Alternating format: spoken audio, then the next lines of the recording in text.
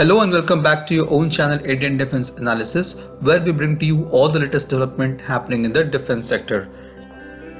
As we are aware that the integration of Astra with Su-30 MKIs have been completed and the integration of Astra with Indian Air Force MiG-29 and light combat aircraft Tejas Mk-1 and Indian Navy's MiG-29K aircraft is also in progress. Once the overall integration plan is complete, the Astra will be standard long-range air-to-air missile across India's entire fighter fleet except for the French origin Rafale and Mirages. Soon, India will need huge numbers of Astra Mark 1 for its fighter jets. We can expect the Tejas Mk-1A trials with Astra Mark 1 as well in this year.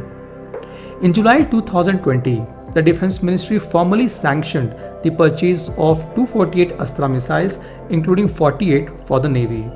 As per the latest tweet from Defense Minister Sri Rajnath Singh, the Ministry of Defense today signed a contract with Bharat Dynamics Limited for supply of Astra Mark 1 air-to-air missile and associated equipment for the Indian Air Force and Indian Navy at a cost of rupees 2971 crores under Buy India category.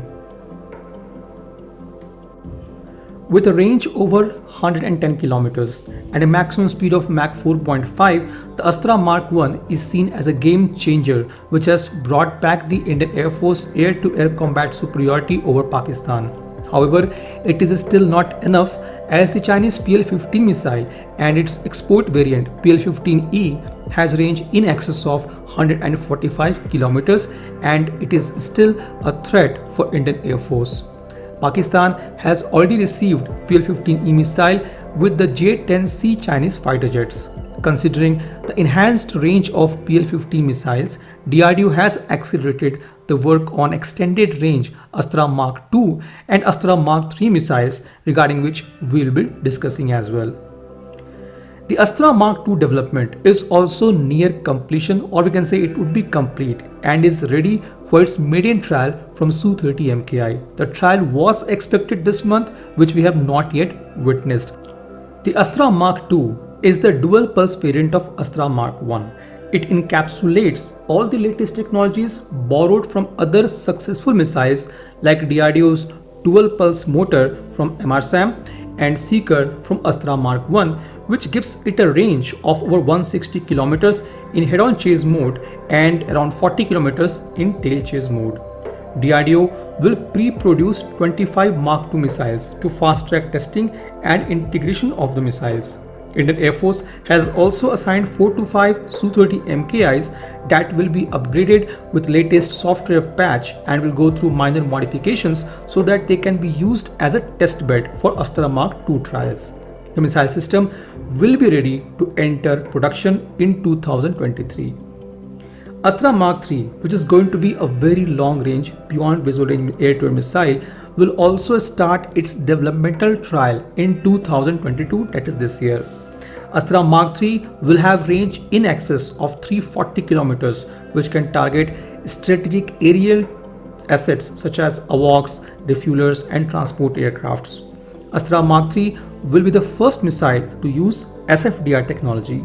The SFDR is an advanced technology than ramjet. It uses air-breathing ramjet engine which can vary thrust according to the requirement which increases the kill probability. The same technology powers the MBDA's famous Meteor missile integrated with Rafale fighters of Indian Air Force.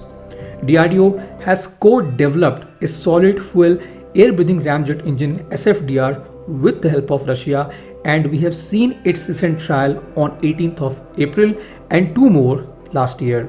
In future, SFDR will also be integrated in Astra Mark II. This was today's update. Please let us know what is your views about these in comment section. Feel free to post your comments and suggestions about any topic related to defense sector on which you want to hear from us. With this, I would like to say goodbye and Jai Hind friends. Please like and subscribe our video if you have not done already. We'll be soon back with more interesting and amazing development happening in defense sector.